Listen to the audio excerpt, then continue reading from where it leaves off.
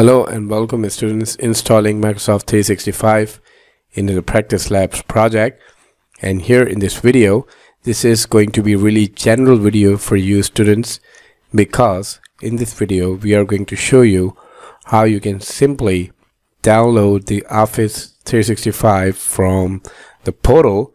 And this video is going to be same and it's going to be a generic in nature because here you will see how to download the setup of Office 365 from your Azure tenant and from your Microsoft Office 365 tenant account and then the further steps related to its performance and related to its configuration and management we're going to show you different sort of hands-on in the coming videos. So let's move to the document. Let's move to the manual and then we're going to redirect to the practice labs platform. So here's your dear document dear manual and here we only have the installing office 365 and this is the practice labs login.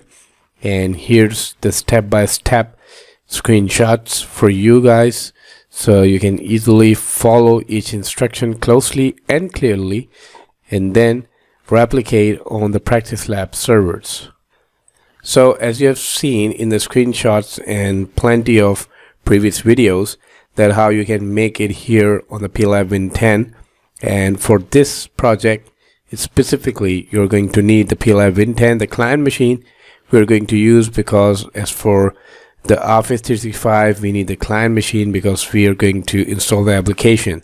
So we, we, we don't need to manage those cloud application from the domain controller that's why we are directly choosing the client machine for the installation. So here for login, you need to do what? You need to just click and open the browser. And once you see the IE, you should type what? portal.office.com. And when you type that link, it will, if your search engine is set to the Bing or the Google, so it will show you the best link on the top and select the login link and option and it will redirect you here. And here I'm going to use my account for this lab specifically but these credentials will be provided by the provided by Danish. And once you start getting in this course and once you start the labs so these credentials will be provided before starting the course so here the account is ali at gssdmv.on and then click next.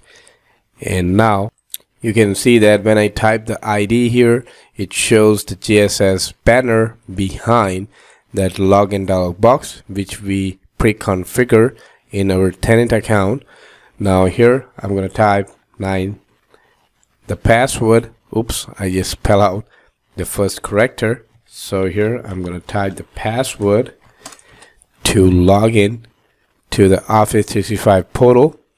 And here it shows you this option here. So to install the office you can directly click here to install the office.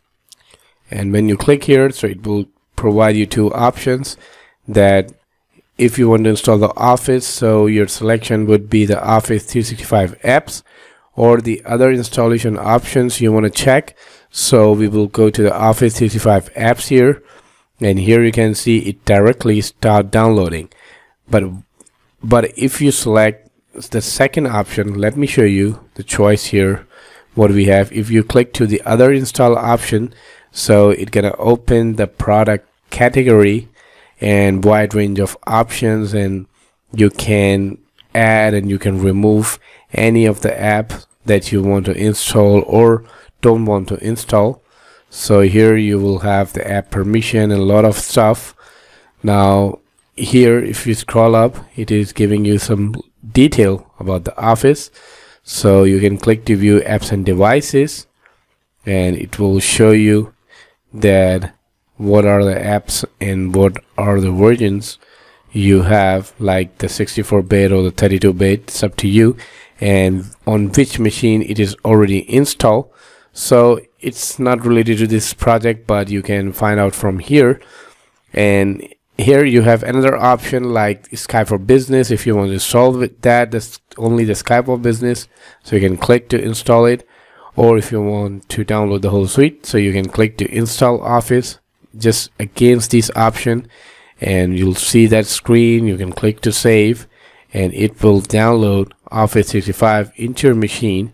And once it's done then you can execute or click to run the setup. And there you go. The installation and the deployment of the Office 365 is started. So that's how you can download the Office 365 from the portal.office.com and then these steps will help you to start the installation. And installation is quite easy. It won't ask you so many questions because it's automatically downloaded and installed in your C drive. So it won't require a lot of inputs from the user.